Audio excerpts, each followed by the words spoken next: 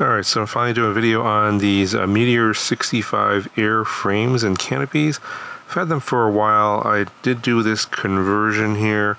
Um, this was originally the TC MMRC Kun 65. It's like their budget, uh, you know, 65 millimeter tiny whoop, and uh, using these lighter, this lighter frame and canopy.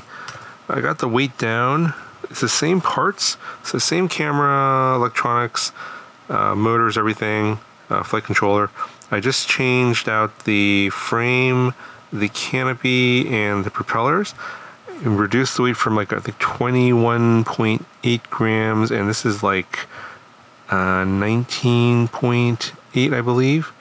So yeah, it drops down a couple of grams, and uh, yeah, so you know if you're looking to you know, take your existing tiny whoop build and use these parts to reduce the weight a few grams. Uh, the benefit is it does fly a little bit better and you get a little bit more flight time. Uh, something else worth noting is these new Gemfan props that I found here are also a little bit lighter. I think they're like uh, 0.2 grams lighter than the original Gemfans that, that, these tiny whoops came with.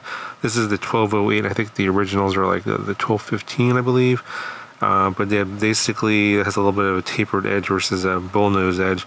These are a little bit quieter and seem to be a little bit more efficient. So, in addition to the lighter weight and everything, um, you can get a little bit more flight time uh, on these propellers and just having everything a bit more lightweight. But I do want to show you actually how much everything weighs. Yes, I did re- I misremember. It it's 19.6 now and it was 21.8 before. And something worth noting here is that this canopy is specifically made for, I believe, uh, the C03 camera from Beta and use a screw there to hold in that lens. And this uh, Atom camera that was on the Kun does not fit this cage with this canopy, so I had to cut off some parts.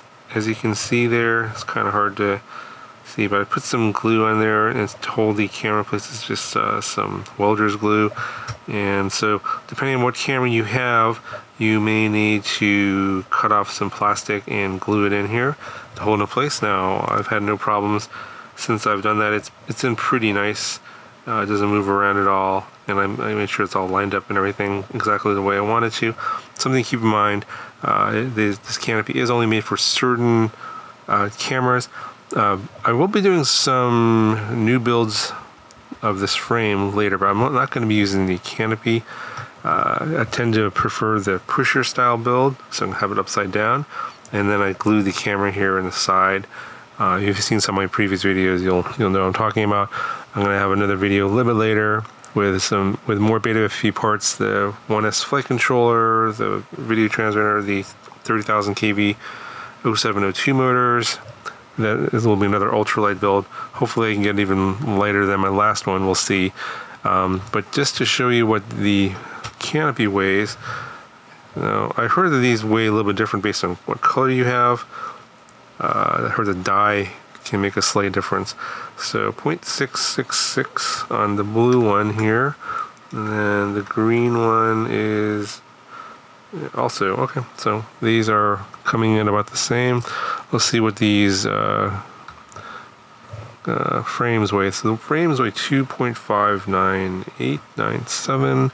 That's the white one. Let's see if the uh, blue one weighs a little different. 2.659. So very, very slight differences. 2.64 for the pink one, and this transparent one is uh, 2.6 worth. a slight variation depending upon the color you have, and also I heard that the color also changes the rigidity properties. Um, these are all kind of semi-transparent, so they all kind of feel the same. And then just to compare, this is the original frame before the light, the air, air version came out. So it's 3.29, 3.3 grams if you round it up versus the 2.6. Now it's coming at 2.6. 2.59. Like it's kind of changes here based on the airflow. There's a there's a air conditioning vent right above my desk here. So it's kind of blowing down on the scale. So about 2.6 grams for the white version of the Air, and then 3.3 grams. That's roughly what 0.7 grams. That's pretty significant weight difference between the two. Now, I'm not going to go over all the little details on the differences. Um, they're now they're noted on the product page. So, for example, they made this little part here a little bit shorter. It's a little bit taller on the original, stuff like that. And then they um, reduced some of the material in here, and then they put these sort of I don't know ridges in place here to hold the motor in place. I found that if you don't use, if you use a non-beta FP motor, these get in the way. So on my build here for this one with this motor, I actually had to snip off those little ridges there on the uh, ed edges of the uh, screw hole there just to get the motor to mount properly. Uh, there's a lot of other differences here in terms of how they reduce the weight of the overall frame. Again, all listed on the product page link in the video description. So in terms of whether or not this is going to last a lot longer, in terms of longevity, in terms of durability, um, not really 100% sure how to answer that. I have crashed this one a fair amount already without any problems. I haven't seen it, you know, again, when, when things get lighter, it doesn't need to be as durable and it is quite flexy. So you do have to uh, adjust your PIDs. Um, you might find that your PIDs might be a little bit too high. Then just drop them down a little bit because the frame the frame is a little bit more flexible than the original uh, Meteor 65 frame. So just some things to keep in mind. You may need to be uh, doing some tuning changes um, to get things dialed in right.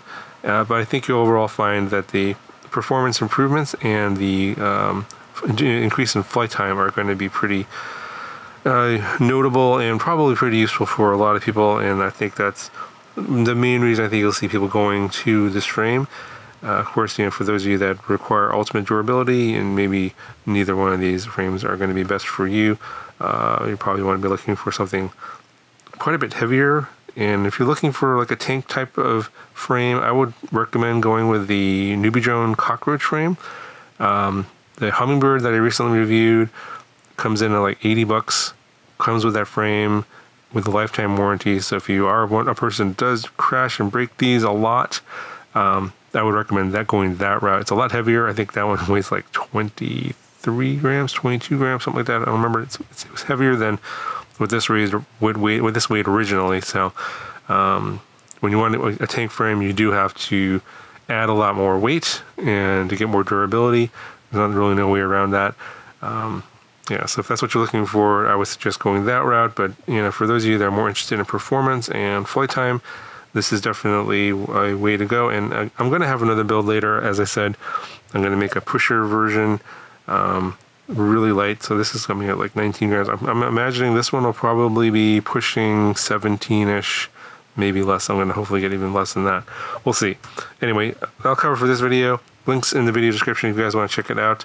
Overall, again, you know, not for everybody, but you know, for, for those of you that are looking for more flight time and a little bit more performance out of your 65 millimeter whoops, check out the links down in the video description.